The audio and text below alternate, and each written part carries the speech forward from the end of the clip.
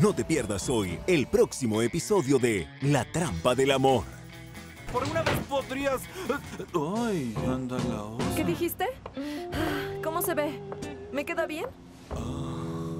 Trabaja aquí. ¿De quién habla? Encontró una mujer difícil, de esas que le gustan. Aquí está, es ella.